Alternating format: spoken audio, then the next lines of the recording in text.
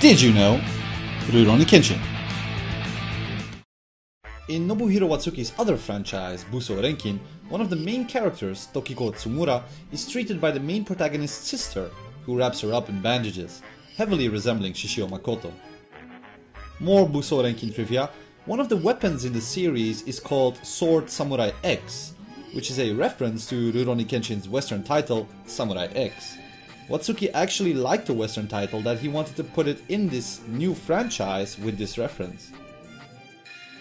When Saito meets up with Kenshin and Misao in Shingetsu village, he thinks of Megumi as a kitsune, or fox woman, Kaoru as a tanuki, or raccoon girl, and Misao as a weasel girl. In Japanese folklore, the kitsune and tanuki are thought of as ominous spirits. The kitsune would take the form of a beautiful woman who seduces and tricks men. The tanuki also takes on the form of a woman, but is thought of as much more mischievous than the kitsune.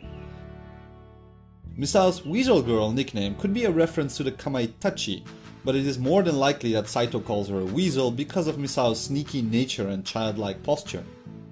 More on Kenshin's name. While the name his master gave him literally means sword heart or heart of sword, his original name, Shinta, could have been written with a kanji for big heart.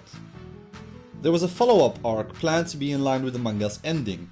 The Hokkaido arc would follow anti-hero Saito, Seta Sojiro, and a few other characters as they journeyed north. A direct reference to this was made in one of the extra chapters of the Rurouni Kenshin manga, where Aoshi tells Kenshin that Saito has headed north to Hokkaido, not knowing what kind of mission he is on, but that he's doing fine as usual.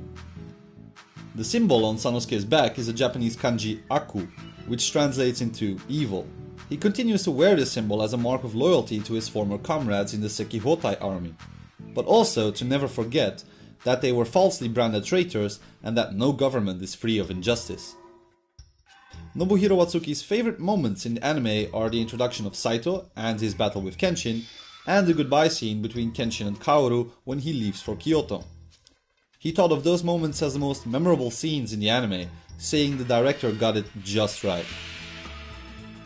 Can you recognize Yuji Ueda, the voice actor for Sanosuke Sagara, in the following roles? Hiroyasu Ueda from Chobits, Johannes Krauser II from Detroit Metal City, Abarenbo from Digi Charat, Zolf Kimblee from Full Metal Alchemist, John Havoc from Full Metal Alchemist Brotherhood, Mario and Giulio Renato from Gundam Build Fighters, Akitoki Hojo from Inuyasha, Billy Katagiri from Gundam 00, and finally Takeshi or Brock from Pokemon. There we go. That's it for this episode of Did You Know? Rurouni Kenshin. I'd like to thank all of you who watch and support this channel, the website, our Facebook page, and the RuroKen shop. Like and share this video and subscribe to this channel. It really helps us out a lot. And it like literally only takes a couple of seconds. Thank you for watching and have a great day.